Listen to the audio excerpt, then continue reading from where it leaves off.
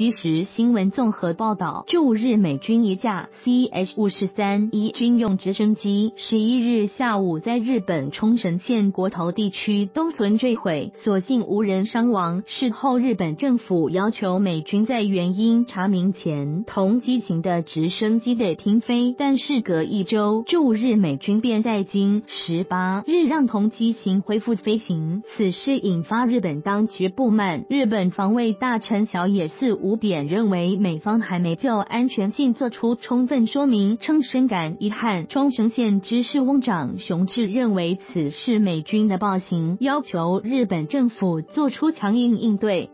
根据共同社报道，事件发生后，驻日美军宣布同型号直升机停飞四天，最快十六日上午就解除此限制。不过，日本政府则是要求美军在事故原因查明前，同机型的直升机得停飞。冲绳县政府也要求的彻查事故原因。驻日美国海军陆战队十七日发出声明，声明中并没有提及具体的事故原因，表示专家调查维修记录后没有发现存在问题，并在十八日上午将同型号直升机重启飞行。